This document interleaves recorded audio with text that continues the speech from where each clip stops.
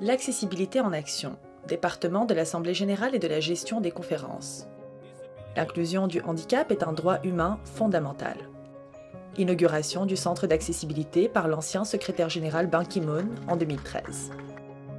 Au centre d'accessibilité à New York, nous soutenons l'inclusion et une plus grande participation des personnes handicapées aux séances. Le centre d'accessibilité fournit des technologies d'assistance. Lecteur d'écran, clavier braille ou autre clavier fonctionnel, bloc-notes braille, aide auditive, lecteur DAISY portable et bien d'autres. Nous avons rendu plus accessibles les salles de réunion en y installant des places accessibles des sièges réservés et des sièges supplémentaires pour les aides personnelles. Nous prêtons attention aux besoins de tous. Interprétation en langue des signes et casque portable.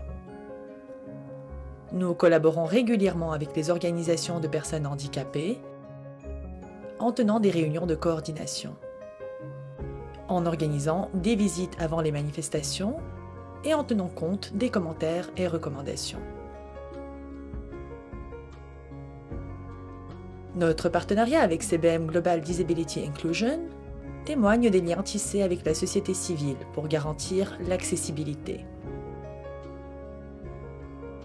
Nous mettons la technologie au service de l'accessibilité. Le sous-titrage à distance et l'interprétation en langue des signes. Nous encourageons également l'accessibilité des fonctionnalités des plateformes en ligne. Au département, l'inclusion nous tient à cœur. Nous vous soutenons. Ensemble, c'est possible. L'accessibilité en action.